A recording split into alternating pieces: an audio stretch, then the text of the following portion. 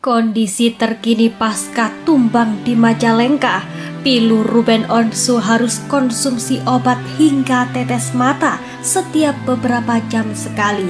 Tangis Sarwenda, anak-anak hingga Jordi Onsu pecah saat berkumpul temani Ruben, Gus Ikdam dan masyarakat Jawa Timur ziyadah Al-Fatihah untuk Ruben Onsu. Saya minta ikhlas ziyadah fatihah untuk temennya Mbak Inul Daratista, Mas Ruben Onsu yang sekarang lagi sakit semoga mendapatkan keajaiban, diangkat semua penyakitnya, diberi kesehatan lahir batin dan umur yang barokah.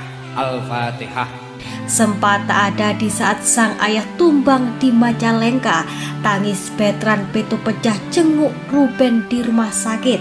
Ya, kondisi Ruben Onsu pasca tumbang usai mengisi acara di Majalengka kini tengah menjadi sorotan.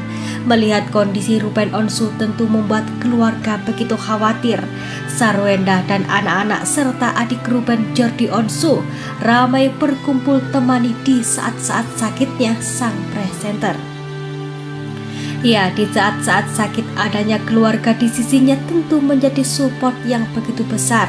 Ketegaran Sarwenda pun ambruk melihat sosok yang ia cintai terkulai lemas di ranjang rumah sakit. Sakitnya Ruben memang tengah menjadi perhatian. Sebelum kejadian di Majalengka, Ruben memang disebut sudah menderita penyakit langka. Melihat sakitnya sang sahabat Irfan Hakim rupanya membeberkan fakta mengejutkan.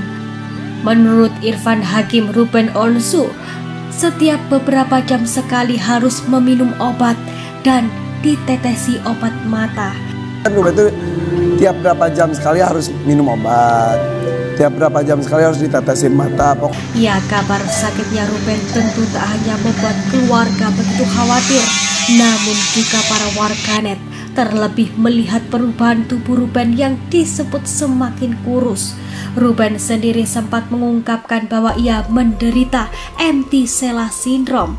Penyakit ini adalah sebuah kondisi langka yang terdeteksi melalui hasil pemeriksaan MRI yang beberapa kali ia lakukan. Sakitnya Ruben pun ramai didoakan oleh para masyarakat Jawa Timur dalam acara pesta rakyat yang digelar artis Inul Daratista di Jawa Timur.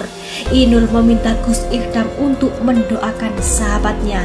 Dipimpin langsung oleh Gus Ikdam, sang Gus meminta keikhlasan masyarakat untuk mendoakan kesembuhan Ruben Onsu, memberikan siada Al-Fatihah untuk Ruben merinding di lapangan yang begitu luas dihadiri ribuan masyarakat.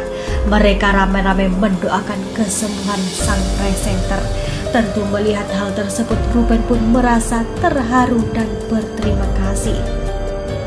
Saya minta ikhlas ziyadah Fatihah untuk temennya Mbak Indul Dadanista, Mas Ruben Onsu yang sekarang lagi sakit. Semoga mendapatkan keajaiban, diangkat semua penyakitnya, diberi kesehatan lahir batin, dan umur yang barokah.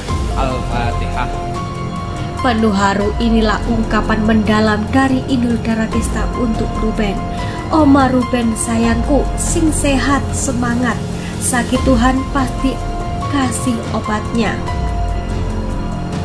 Jangan stres, jangan takut. Sehat, sakit, susah, senang cuma Tuhan yang kasih. Jika kuat, semua akan baik-baik saja. Aku dan kita semua berdoa untukmu. Kamu penghibur yang baik, maka kita akan jadi penghibur saat sakit pun. Doa kita semua untukmu. Love you, Omar Ruben. Tulis Inul Teratista. Wah, kita doakan cepat sembuh ya pemirsa.